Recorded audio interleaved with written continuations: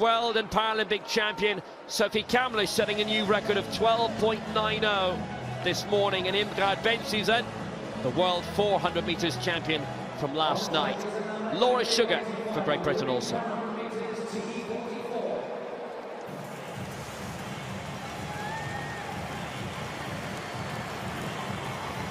Elena van Gansewinkel, silver here in the long jump, as was the case in the last World Championships in Doha. Seventh in the Rio final over 100 metres.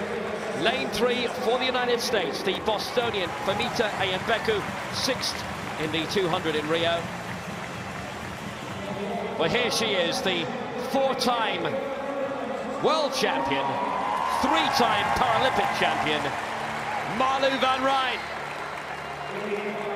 Equal time with Van Rhijn for Nyoshia Cain of Trinidad and Tobago this morning. Bronze in Rio and in Doha, the 100 for her. Lane six, the new world record holder. 12.90, big prospect here.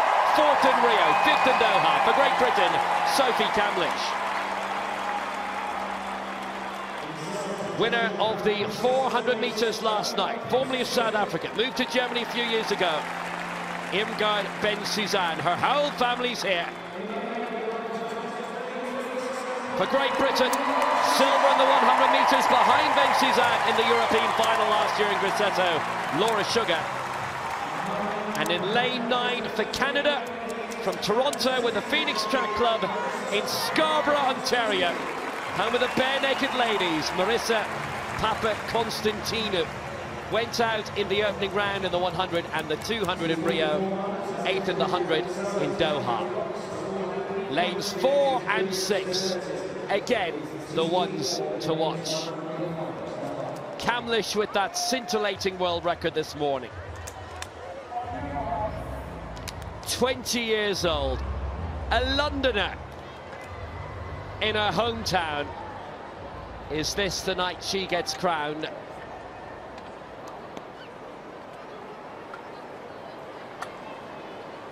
The crown currently belonging to Marlou van Rhijn. It's Van Gansewinkel, Ayanbeku, Van Rhijn, Cain, Kamlish, Bensusan, Sugar, Papaconstantinou. The T44 women's 100 metres final.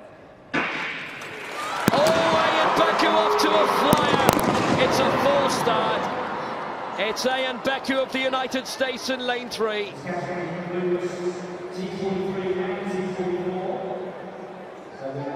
All set for a great race, and it still is, but we'll have to wait a moment.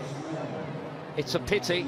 A good up-and-coming athlete she is. She was actually part of the Bolt All-Stars in the Nitro Athletics in Melbourne who's made a debut back in February. I think she knows it's her.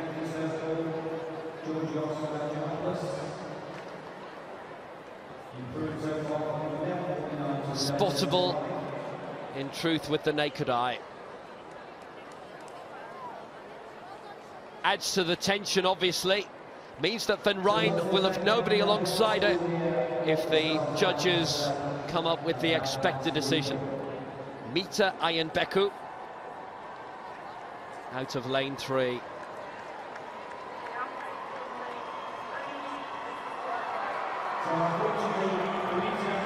She's not going to even wait for the red card. When you know, you know.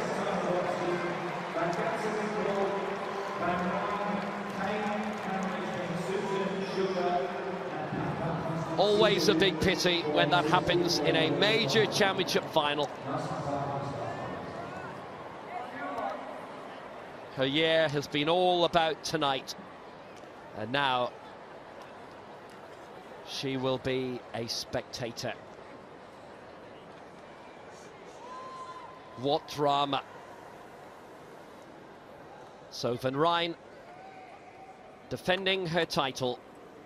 She's won the last two 100 metres world crowns. The reigning Paralympic champion. But can Kamlish deny her? The final of the women's 100 metres. Now they're away, and it's a very good start by Kamlish. Van Rhijn behind at this point. Cain going well for Trinidad and Tobago. It's Kamlish for Great Britain, and it's going to be Kamlish for Great Britain.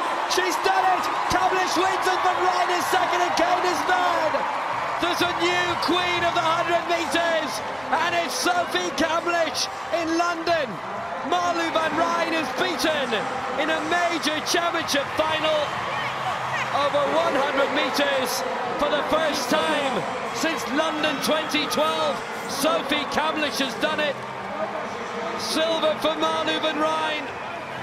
Bronze for Nyoshia Cain for the third major championship 100 metres in a row. Maybe it's because she's a Londoner. Sophie Kamlish, the new world champion. And she has done it with one of the fastest times ever. It's only 200s outside of a new world record. Van Rhijn with the silver, Cain with the bronze, but Kamlish with the second fastest time ever with the fastest coming this morning. She's recorded them both. Now, Van Rhijn, not usually a brilliant starter. Cain got off very well. What about Laura Sugar in lane 8? Fantastically away. But this is where Kamlish comes into own. Cain in second place at this point, and then Van Rhijn in the second half always shoots away, but had too much to do this time. Kamlish absolutely striding, would not be denied this time. 12-9-2. Van Rhijn in second, Cain in third, Bensusan in fourth and the mantle has crossed to GB. It certainly has, but she got away to a quick start. You know Marlou van Rhijn, as you mentioned, is going to get away a bit slower. But what most athletes don't manage to do, which Kamlish does, is she holds it well in that middle 50 metres. And then she has the momentum. By that stage, Van Rhijn just couldn't get there. You could tell with at least 30 metres to go that Kamlish wasn't going to be caught. She got out to such a lead that Van Rhijn just couldn't haul her in. The only person she could haul in was Cain.